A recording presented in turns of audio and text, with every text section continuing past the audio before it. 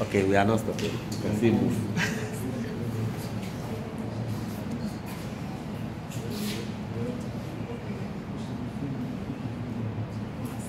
the pictures will be available on our website from next week Okay. or by Monday. Monday. All the pictures. That's nice. Ready? Okay, we are ready. So, please. Uh, uh You've done now. Please. science. Tamara Rebecca, 14 years old. I'm a student of School Accra, and my goal is education. Now, my painting is based on the topic drug abuse, drug dependence, and drug prevention. Basically, what my painting is trying to talk about is a drug user. She she was into drugs, and then at the bottom you can see the rest of the drugs that she had moved on to outside the schooling bottle. But then out of the out of her heart, her will, she decided that she was going to become a better person. So she started um, reading, studying, she became an educationist.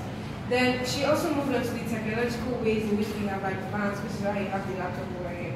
Because right now, the, the world is just moving at a faster pace, so we need to be at that pace, we need to work at that pace, which is why she also used the laptop well.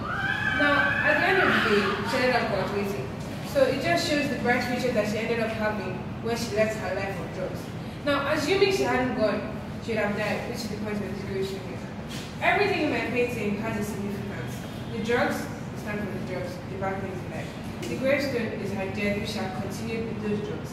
The heart signifies her will, her will to become a better person, a, a better version of herself.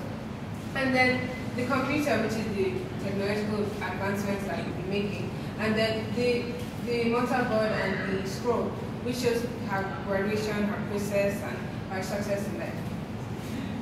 Now, my message to everyone else, to everyone who is watching this, who will be watching this, is don't do drugs.